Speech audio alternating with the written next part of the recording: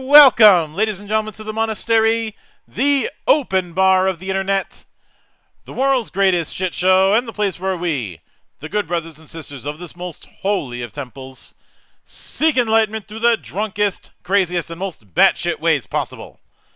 I am your one and only gaming monk, better known as Mildra, and with me is a newcomer into the temple. Coming to us from coming to us from the coming to us from way across the pond, and and braving the hell of time zones to come all the way here with his upcoming project. One of us will die. The one and only Titus Villanueva. How you doing today, man? Or Hey, man. well, today for you, tonight for me. Yeah. Have I mentioned that I hate time zones? I can relate. could have been worse. You could have called me in the morning. Yeah, people all, people often say that they're that they're willing to they're willing to go late, and I'm sitting here going, how late is late?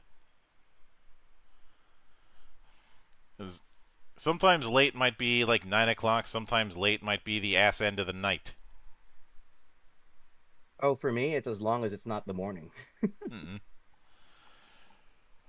Not a mo- not a morning person, I take it. I am not a morning person. Probably a- probably a few ex- probably a few str- stronger pots of coffee. Oh yeah. Uh, it, it it takes a bit of coffee to get me going. I usually just use the pinch because I'm not because if I'm because after the pinch, if my if I'm get, dealing with a headache, I'm not thinking about being tired. Ah, you know what? That that that that's good practice. But it's a bit of a tradition around here to open with the humble beginnings, in a sense. So walk me through your first introduction to role-playing games and what made it stick. Oh wow. Um, that was that is a long story. My first shtick with role-playing games was attempting to play it in high school with some friends, but we could never really get the schedule right because we were kids and we didn't understand the vast responsibility that came with scheduling. I tried playing it early college well, actually, no. It was, it was better than just a try. The first uh, role playing game I learned was Call of Cthulhu. I ran it for my sister and a couple of my cousins.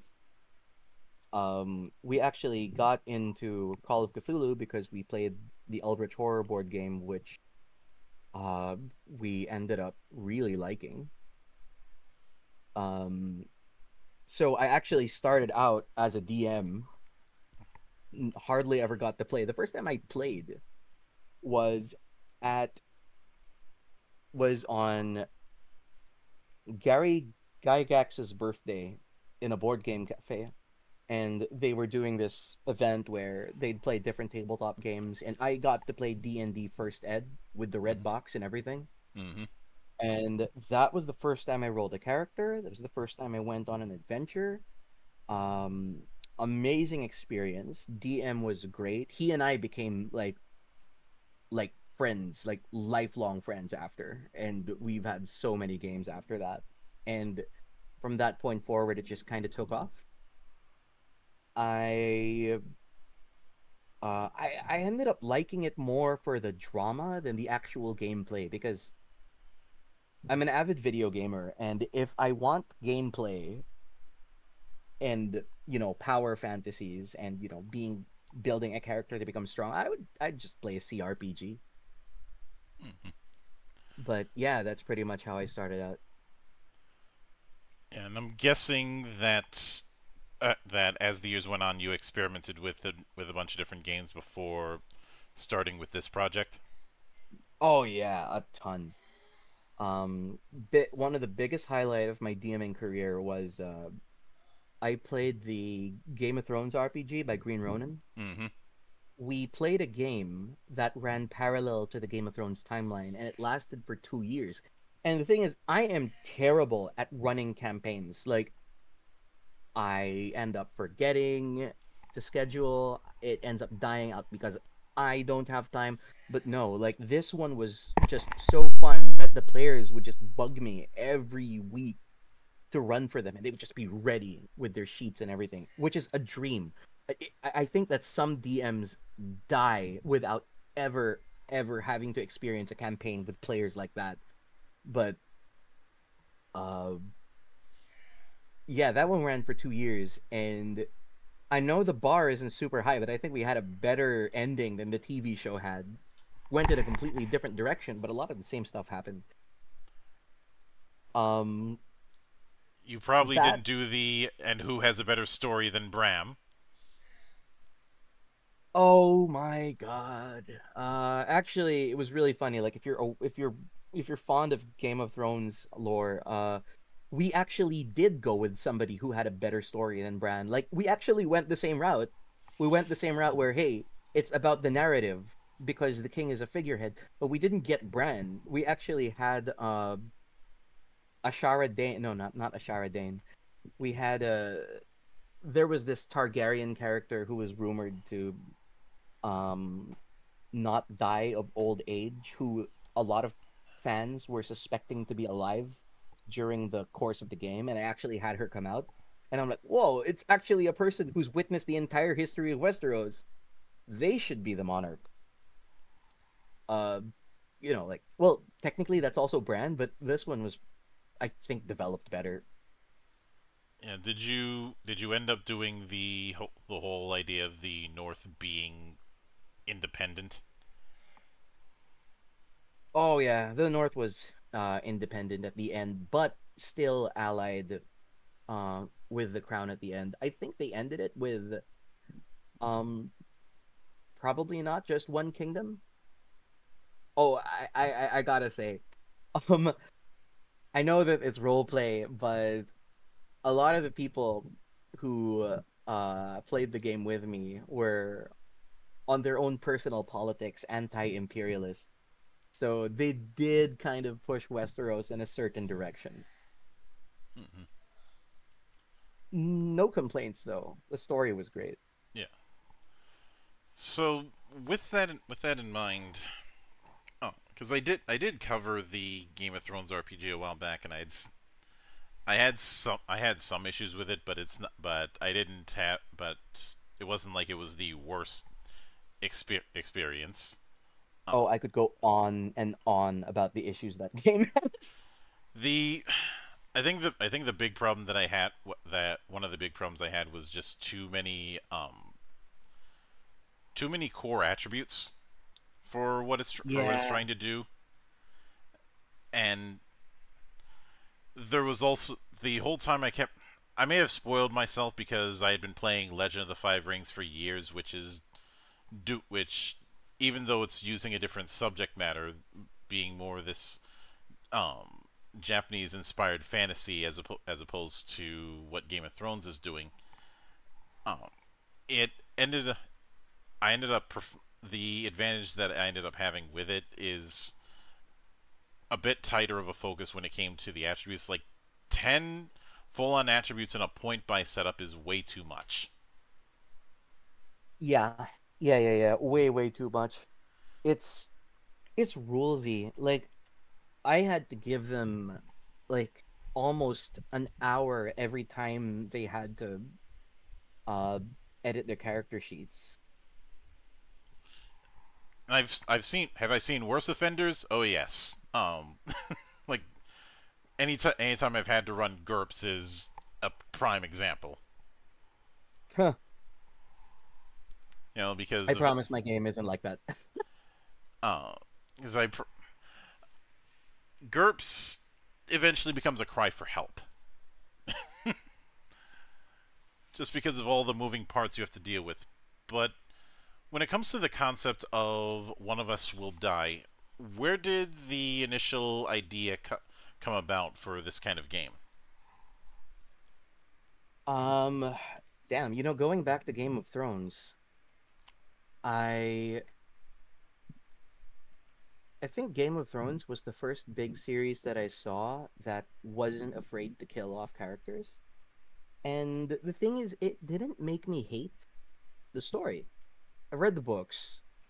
Um, read the books, uh, watched the show, and the first season where they kill off Sean Bean, big spoiler. I kind of realized it did more for the story than it took away. Like, you know, Ned Stark just became a lasting presence in the entire story after he died. And I kind of realized that death in a story isn't really a it's it's not a negative thing. Eventually I got into other stuff like Dune and um, some other content, but I realized that um, death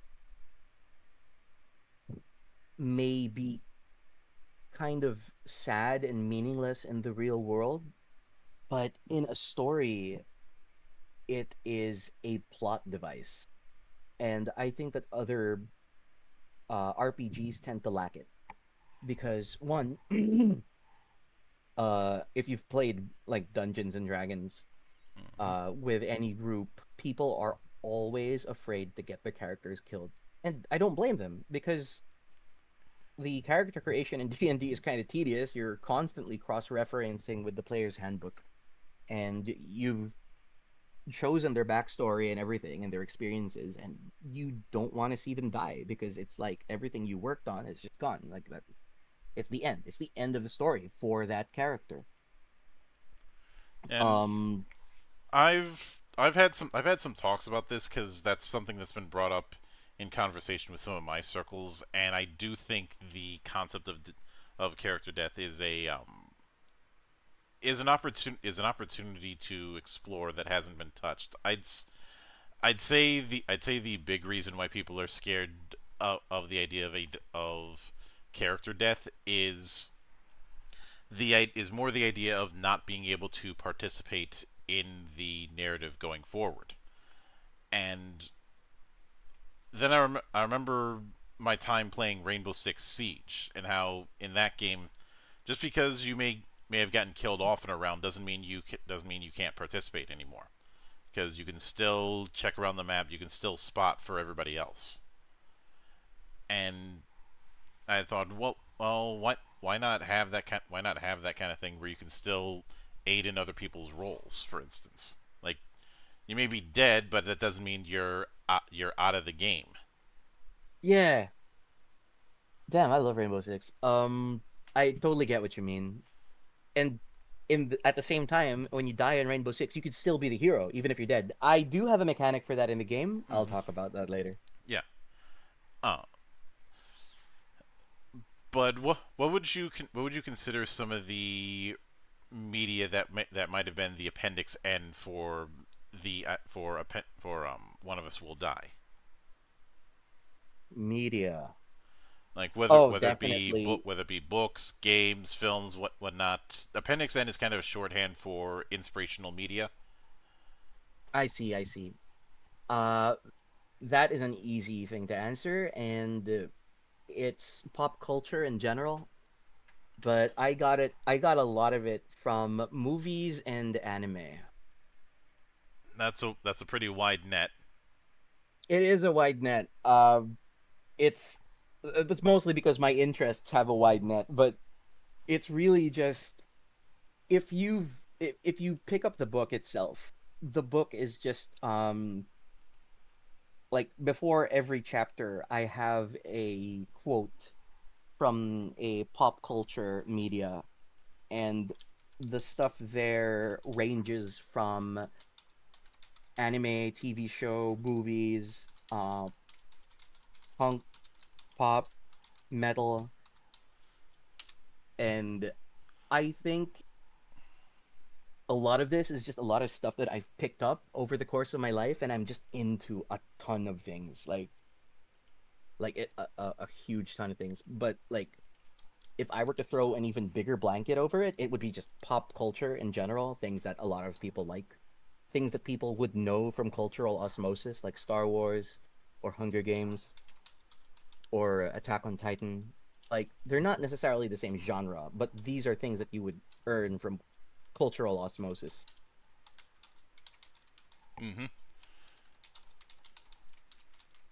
mean, there's since given the given the whole thing of one of the one of the party members is a tr- is essentially a traitor.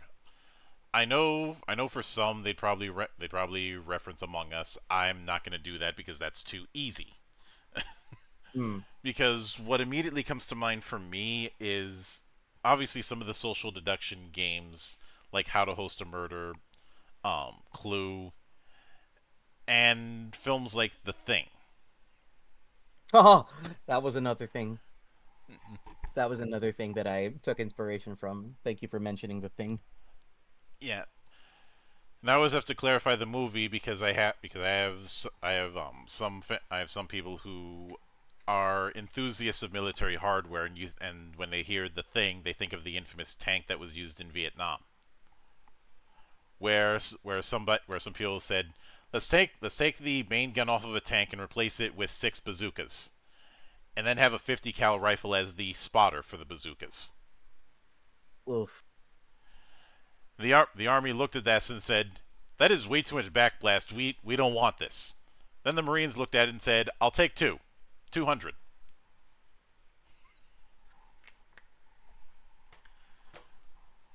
Oh lol. Because they didn't care about the backblast. You're shoot you're shooting six, and technically it's recoilless rifle, but bazooka sounds better, so I'm going with that. Yeah. But the thing as far as far as that first entrance into what would become the Apocalypse trilogy is an interesting beast in its o- in its own right because because of the of just the just the insanity that was in the development of it and the fact that um Carpenter wasn't the first choice for for director. Oh, he wasn't. No, I think he was like the third. I think he was like third on the list, but because everybody, every everybody else they wanted to get, um, ended up turning it down for one reason or another, and he was seen as too indie. He eventually ended up get ended up getting it. There's wow. also there was also the whole thing of Stan Winston almost driving himself insane when it came to making some of the creature effects. Oh. which ends up making sense because um Winston is the goat when it comes to uh, when it, when it, com- when it comes to um, creature effects in film. Oh yeah. After that, no doubt. Well, the, before before and after, he was more or less the guy when it came to practical effects.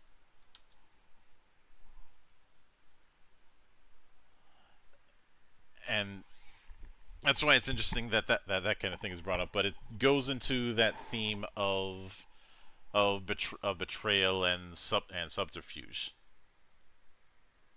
And one of the things that I enjoyed uh, from the thing was that the betrayal did not come from malice. It really just can like it, I, I like the idea that betrayal can come from anywhere.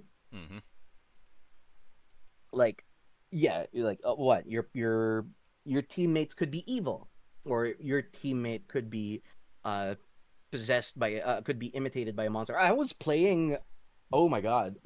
I was playing uh I was playing I keep forgetting Lethal Company last night with some of my friends hmm and I was I was hiding. I was just hiding in uh I was hiding in the ship. Uh this enormous dog monster was outside and it mimicked the voice of my girlfriend who was on the team. So like, you know, like I'm hiding, I hear the most comforting thing that I could hear because you know, hearing your partner's voice when you're scared is like the most comforting thing you could hear. And I slip up a little bit. I'm like, "Oh, oh, she's here."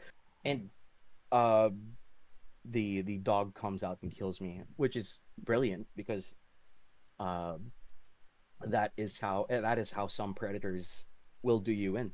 hmm It did remind me of the thing and there are scenarios like that in one of us will die. I'm really glad you mentioned the thing because it is one of the inspirations for um some of the scenarios. There's one that's indirectly inspired from the thing called Interstellar Nightmare, and I do have a book coming out after of even more scenarios, and that one will have one that is directly inspired from the thing. Mm-hmm. Yeah, I can I can certainly get I can certainly get the vibe of that.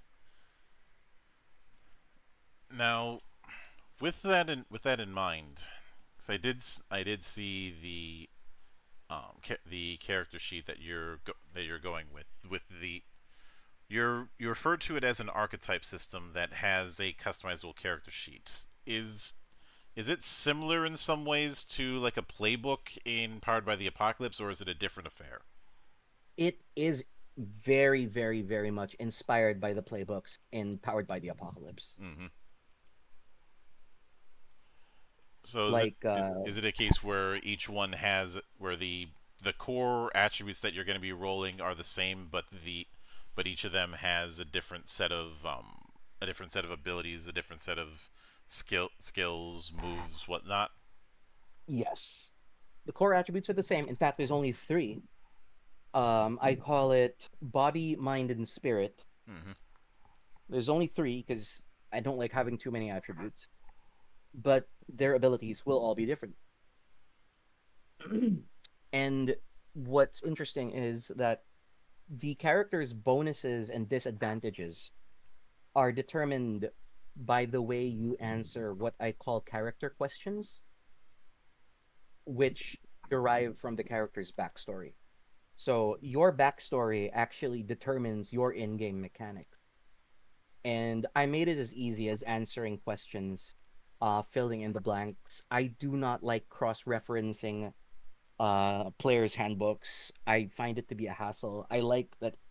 I like to have everything just on the sheet itself. It's funner to get newer people on board, I think, and I think that's what we want in tabletop games. We we want to introduce people to our our hobby, and I think it's much funner this way. Yeah. Or you, or you could ha- or you could have them go through a TPK and say what and say welcome to the party, pal. Uh I had a I had a friend do that for me in uh Wraith Oblivion. Yeah, I've um I've had when when Games Workshop decided to be complete idiots earlier this year, um I had a bunch of people came to come to my LGS, i.e. local game store, and try out Infinity. And they the problem is they ended up still playing like they were playing um, Warhammer 40k, which meant doing open charges. Oh no. And if you know how Infinity works, they didn't last because they ended up getting shredded in a few minutes. Understandable. Because one of the th- one of the things with with Infinity is when you activate a unit, if an opposing unit has line of sight, it gets a free shot in. And since everybody's Yeah. got ranged weapons as well as melee weapons in some form, um, t- using terrain effectively is key to not getting shot at. Uh, Yeah. Unless unless you're in a vehicle, in which in which case you're get in which case they can they can shoot at you, but you, they're gonna have a hard time doing it, depending on the type of vehicle. Or if you're in one of those TAGs, which are basically power armor, uh, you you can just tank it, because you're in you're in power armor. but they decided to do the charge on open ground and th- thinking that they thinking that it would work in a similar manner and ended up learning the hard way that that's not how this works. Yeah. I haven't played Infinity, but I've definitely heard about that. Uh, I've seen this. I've seen a similar, th- and of course, whenever I've um, whenever I've run a certain game, I always write out a primer that goes into what someone should expect. I did that with Lex Arcana once, and I've told this story before, but um, I had specifically said this is an investigation-focused game. Do not build a combat-heavy character. I can't stop you if you do, but if you do that, you've got only yourself to blame. Yeah. I I I I know that feeling. one person did and was mad at me that there wasn't enough combat scenes, and I'm like, I told you in advance. You are getting no, you are getting no simpy from me. No simpy. But now, look, looking through the the sample character sheet you were you had provided me, um, I am curious. Uh, there's a few things I'm curious about the core rules. Now, one is the is the fact that at least one die needs to land on a five or a six. Since I Yep. brought up Powered by the Apocalypse earlier, is there a case where there's some sort of but and effect? You know, like how some some effects in PBTA are yes and or no but or and vice versa. Yes. Uh, there are critical successes and critical failures. hmm If all the dice roll on a one, um, if all the dice roll on a one, it's it's a critical failure. That means that the storyteller, DM, well, in this case, the director, has to add an extra complication to the move. Very similar to um, another powered by the apocalypse game. Uh, what was it? The sword, the crown, and the unspeakable power. Yeah. Well, When you said Um, another Powered by the Apocalypse game, I'm like, you're gonna have to be more specific than that. Yeah, yeah, yeah. And uh, what really gets, what really I think is fun is multiple sixes. Two sixes, you get a critical success. That means that you get to, uh, that means an extra advantage gets added in. hmm Three sixes, you get to act, uh, like two sixes, you narrate the nature of your success, not the DM hmm a lot of the bonuses in the game are basically just fighting over narrative control from the other players and from your DM. All right, I, I can For- get that. Um, the um, I, Houses of the Blooded had a and um, and its spin and its spin-offs had something similar. Oh yeah, yeah. I've heard, I've I've actually been compared to Houses of the Blooded before, even if I've never played it. Yeah, it's uh the the the only the only um comparison I could I could say is both of them are used is the whole um fighting over narrative control and both of them using d6s cuz things because um Houses of the Blooded and and um thing and things like Blood and Honor it's all about a rule of 10 ah, you get it you get at least 10, you get at least 10 then you have narrative control.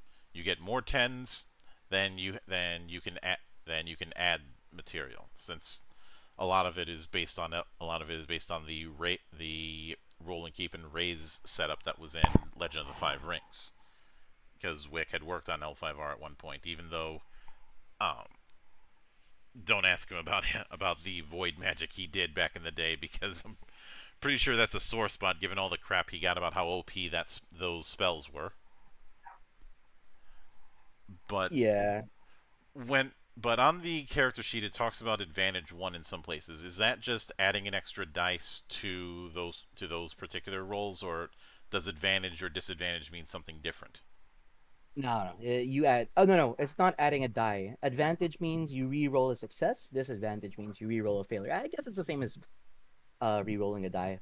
I actually kind of got that because at the time I was playing Warhammer Kill Team, hmm and uh, the last uh, version of it, I, I quite enjoyed it. So I do like the idea of being able to re-roll your dice and having that as a resource. So is it is it re-rolling aid? Is it re-rolling aid dice or is it um rolling it rolling a success to potentially add another, i.e., exploding dice? It's re-rolling one die. Like for example, if you have advantage one, one die comes on a failure, you can re-roll that. hmm Whereas if you have And, uh, disadvantage, a successful die, you've got to re-roll. Yeah. And you are collecting uh fives and sixes because your degree of your success is by the amount of fives and sixes you have. Mhm. In fact, when you get to the combat portion of the book, you really only do damage in sixes. And this might seem weird when you look at it uh from the get-go, but when you watch actual combat, or when you've been in a I mean I haven't been in an actual fight, but my other hobby is uh HEMA, uh historic and historical European martial arts. Mm-hmm. and most of the time not ev- most of the time the exchanges don't end with somebody getting hit. Most of the time the exchanges um come with somebody strikes the other person blocks that person strikes the other person blocks. They both escape because they don't want to risk anymore because in in some categories in HEMA they actually deduct you for getting hit and they also deduct you for getting doubles so you do not want to get hit in a fight so naturally, a lot of the time, they're just stalemate. So, and your goal in a fight isn't actually to kill the other person.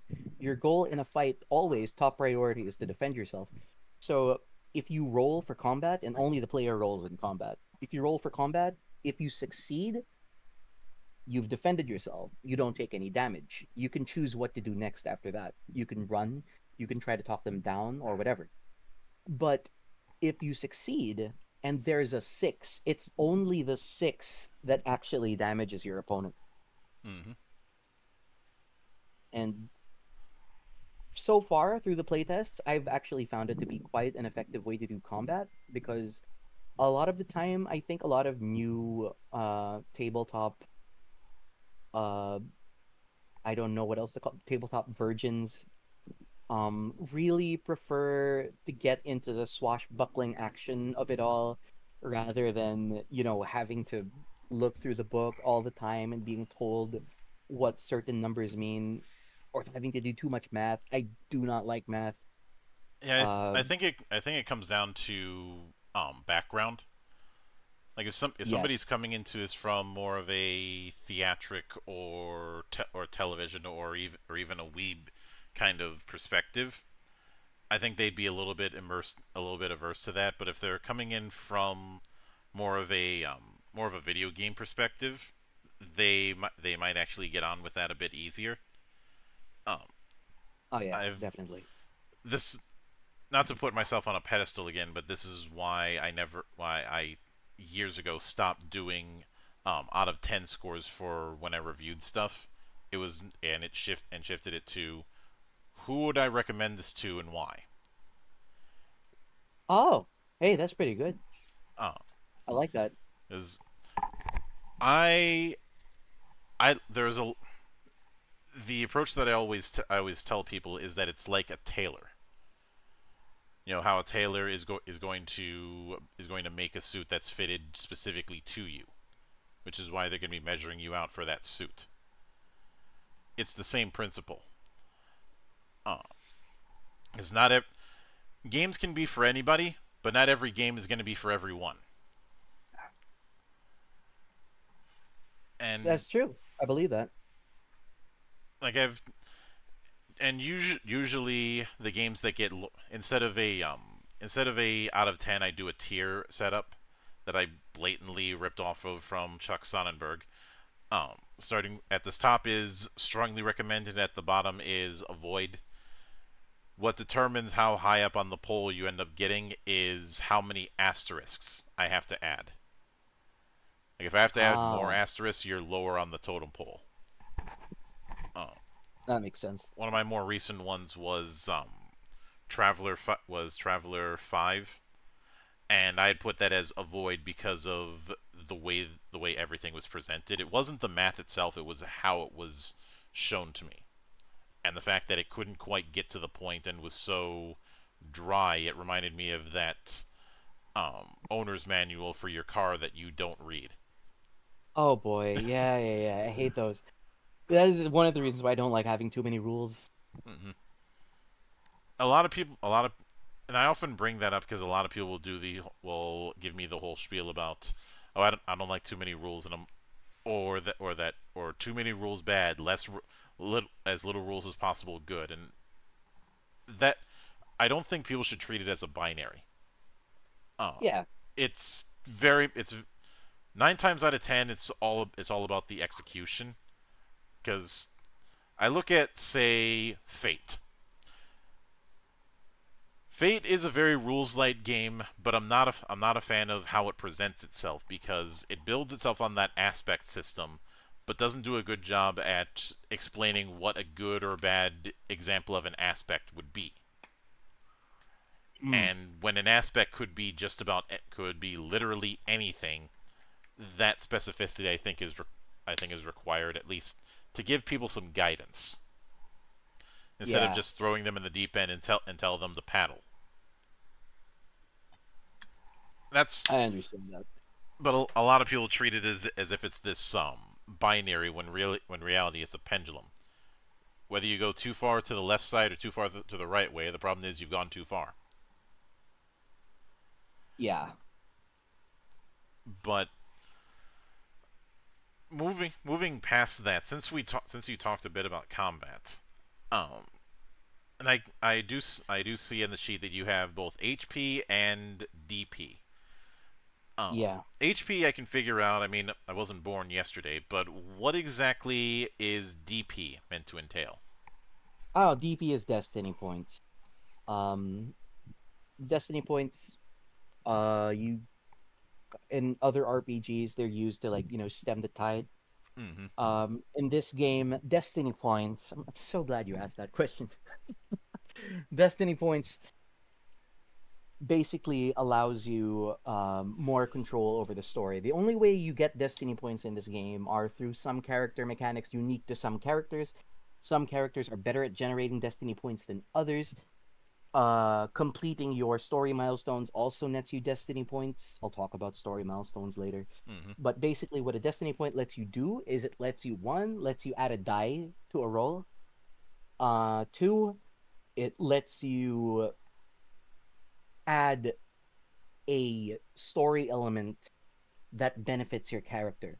Like for example, uh, my favorite example to use is the, um, the original Disney Mulan adaptation, where where uh, the Huns are riding towards her and she only has one cannon. And basically what happens is if this if she were playing one of us will die, her player would have said, "Okay, I aim the cannon and can I use a destiny point to say that the mountain is at an avalanche point?" and the DM would say yes. Fine. You use a destiny point. The mountain is at an avalanche point. Okay, I aim the cannon at the mountain, not at the Hun leader. And then she rolls critical success. The uh, the cannon hits the mountain, and the Huns are uh, wiped out by the resulting avalanche. That that's what a destiny point is for. And the third and most important use for a destiny point is, um, if you are dead, a destiny point will allow you to take control as the DM for one scene. Mm-hmm. Which is why, like, some players like, what? I get to be the storyteller. So, um, when they're dead, that's kind of what they're waiting for. And what's really fun is, if it's the traitor who dies, and he uses the destiny point to become the narrator, uh, and just makes everything even more hostile, that that's still fun. Because it's kind of like how you know in a movie after they've killed the traitor, stuff still seems to just get worse and worse, almost as if the traitor's pulling the strings from beyond the grave. Mm-hmm. Like, Plus, you've 'cause I ha- you have the lot. cliche of load-bearing villains. yeah, and also the cliche of you know your dead loved ones also helping you from beyond the grave like uh you know things happening you're like oh god he's still watching over us in this case they are Mm-hmm. Again, the the way to ease the weight of um of character death in this is to well li- well lighten the load so that people can still participate even if their character's gone. yeah and uh it, it it's very much uh similar to how Rainbow Six does it, where you're kind of still helping them from beyond hmm or working against them. Yeah. Um, I will note that I'd also ci- cited as a potential example, as a potential idea of using the whole physical and spectral relationship that Raziel has in the Soul Reaver games. No, he, Oh. he runs out of I have not played those. Um, I always recommend those two. Pe- to, I always recommend the Legacy of Kain series to just about anybody I can. Um, Raziel is a wraith. He Okay. is, and his natural his natural form is in the spiritual plane. But if he but he is able to will himself to have a physical body. If that physical body takes too much damage, he shifts back into the spectral plane and has to recover his energy by absorbing souls. Of course, there, of course, there's still threats even within that, like uh, like um, like uh, like the souls of vampires or or worse things down there that could take him out in the spectral plane. And if he takes too much damage there, it's game over. But there's still, again, it's the idea of you run out of HP, but you're not fully dead. You can still come back. It's just you have to fight to get it to get it back. Yeah. Oh. I'm not saying that I'm not saying that's one thing that could be done with with this system, but just adding to th- that whole lightening the load when it comes to character death. Yeah, definitely. Oh, but on the opposite spectrum, I also wanted this game to make death feel heavy. I actually think that a lot of games, both video games and tabletop games, uh, they tend to trivialize death sometimes. Where in the real world, death is something that, you know, ruins people's lives. It's it's a turning point for so many stories, so many people's stories. And it's tragic. No matter who it happens to, it's always tragic like it's always never the best outcome. Even if it's to a person you want to die like e- even in stories when the person deserves to die like them dying sometimes feels like a denial of justice somehow. Sometimes. Hmm but like yeah i both wanted to lighten i no no no. I got it i got it. I wanted to lighten the load for the player but i wanted it to feel heavy for the characters Yeah, I can. I think, I, can get yeah. that. Now, with that in, with that in mind, I know that this is fairly er, fairly early um, in de- in development. oh actually i'm done Oh, yeah yeah. I'd, I guess I, I guess I had carried that assumption based on the notes you had you had um, sent, but one of the thing, but based on the way things are described, it sounds it sounds like this is built more on a idea than on a particular um, storytelling genre, for lack of a better term. Is that accurate, or am I or am I reading into things? Well, if there is a genre, the genre would be tragedy. Tragedy in the most classical Mhm. sense. What I mean by that is this isn't necessarily a fantasy game, necessarily a science fiction game, so Ah, and no. that that kind of thing. Yeah, yeah, yeah, definitely. It's uh it's multi-genre, multi-setting, Yeah. all tragedy. And given given that and given the specific theme of tragedy, do you plan on putting in um, advice on how to do on how to do a tragic campaign in the GM section of the full book? Oh, yes. And as a follow up Um, to that, do you plan on putting in some example um I guess I guess example for lack of a better term modules for for it to represent that this is not necessarily leaning into um, contemporary or fan or fantasy or science fiction exclusively. Oh, yeah.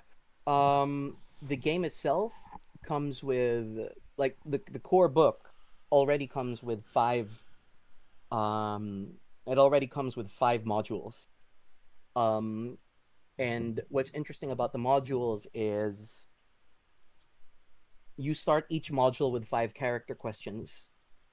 And for I think three out of five of the modules, the character question is what is the setting?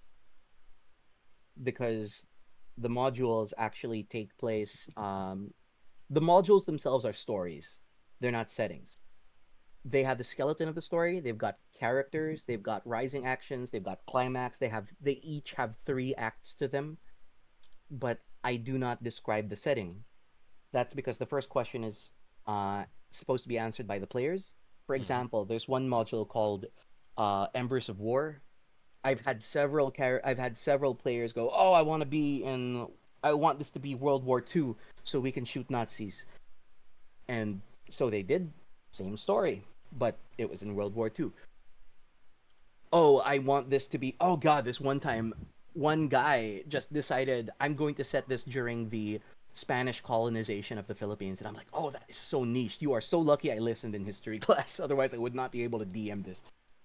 But I did, and it became same story, same adventure, same three acts, but the theme was completely different. It became a it became a theme of uh, you know cultural identity and um, what it really means to belong to a tribe or a nation and what the difference is between the two. There's another, like, I even have one coming up. I, I started writing it last night. It's set in the court of King Arthur, and even that actually, even that still has the question where is this where and when is this set? And the reason for this is because if you enjoy shakespeare the scripts are the same. We've been using the same script since the 15th century but so many different productions. You've seen hamlet in a post-apocalypse. You've seen romeo and juliet in the modern day. You've seen julius caesar in uh, in an African dictatorship, I think that, of course, there are some scenarios where the setting is kind of already kind of non-negotiable and set already, but most of the time, I do love it when the players are allowed to choose their settings. There's one called um, Shadow of the Dragon, where mm-hmm. the players, where it's a one shot and the players are saving a city from a dragon, I've had it played in a classic fantasy and another where it was played on Mars and he just built the Mars colonies and lo and behold there is a space dragon that is going to destroy it and the players must find a solution to that. So it's again, same script, different settings. Mhm.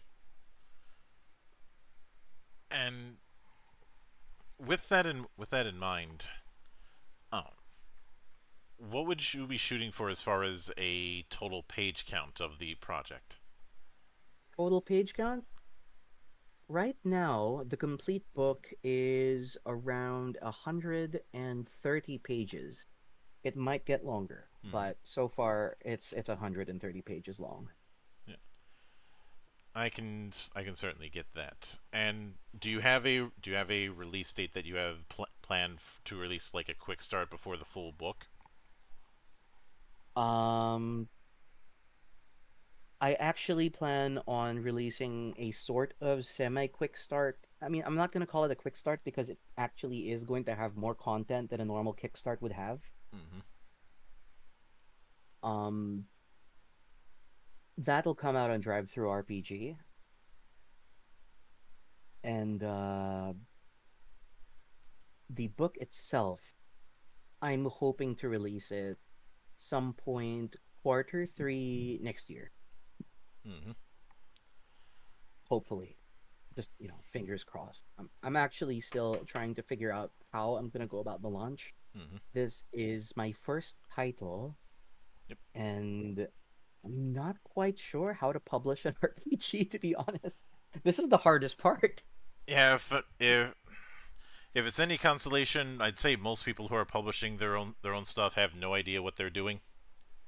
Yeah, which is why whenever I ask people, they don't know either.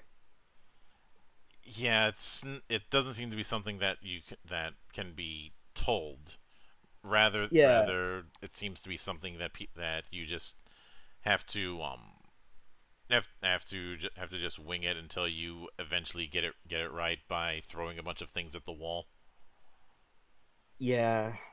I mean, right now, I'm just trying to get as much exposure for the game as I can, which is why I was so happy you agreed to uh, talk to me about this. Well, I do. Doing this kind doing this kind of thing is par- is all part of my particular um, crusade. But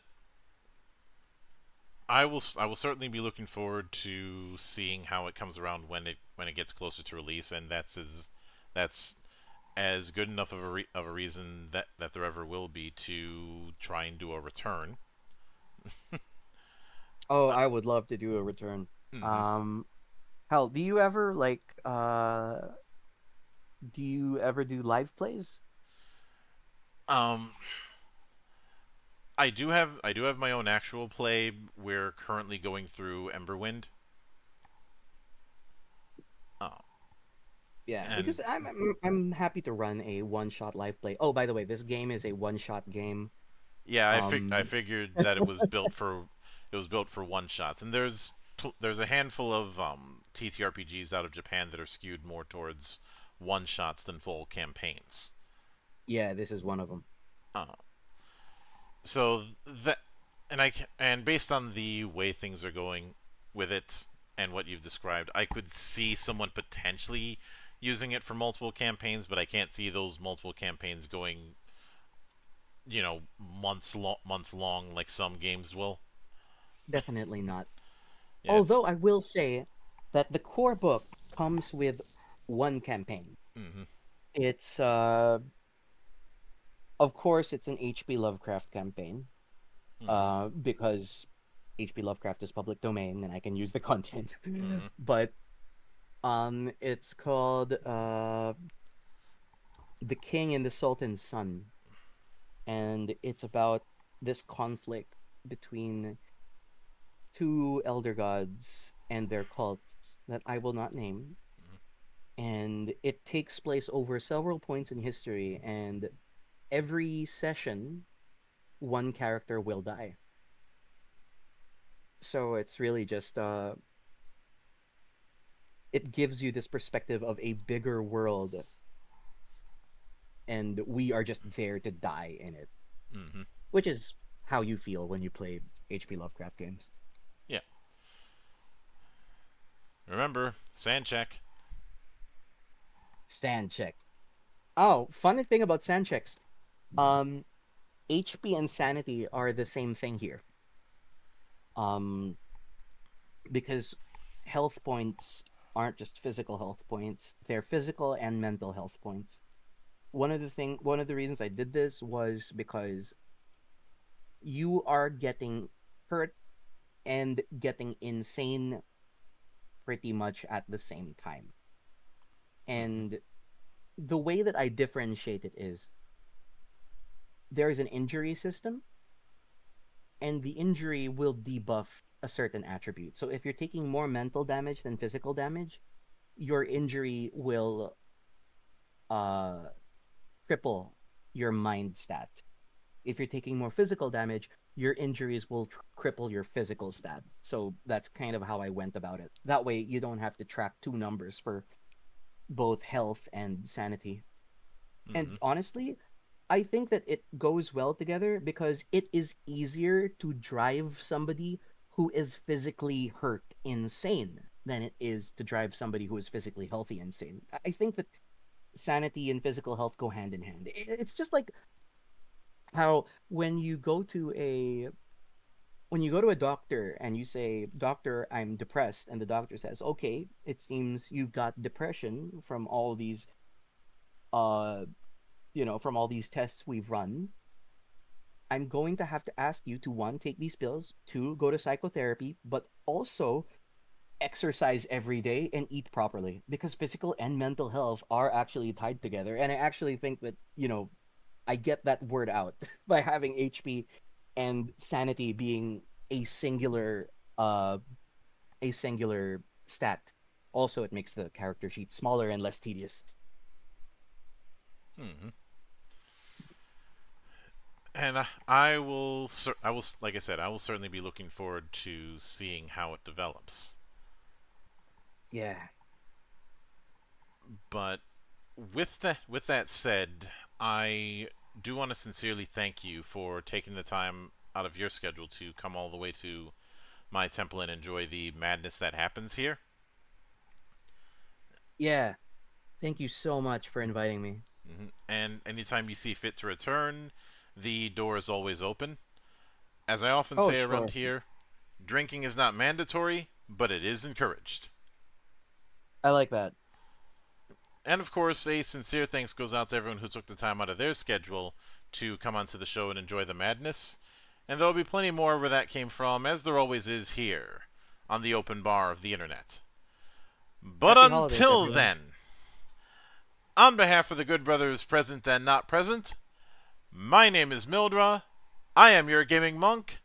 Stay fucking frosty, everybody.